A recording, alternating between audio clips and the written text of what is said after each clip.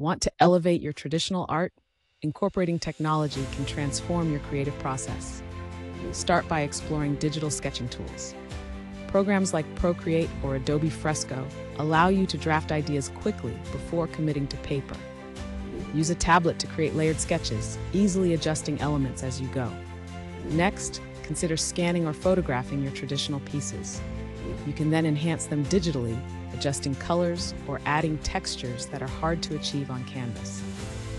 For those looking to reach a broader audience, creating a digital portfolio is essential. Showcase your art online using platforms like Behance or your own website. It allows potential buyers to see your work in a polished format. Lastly, don't forget to engage your audience on social media.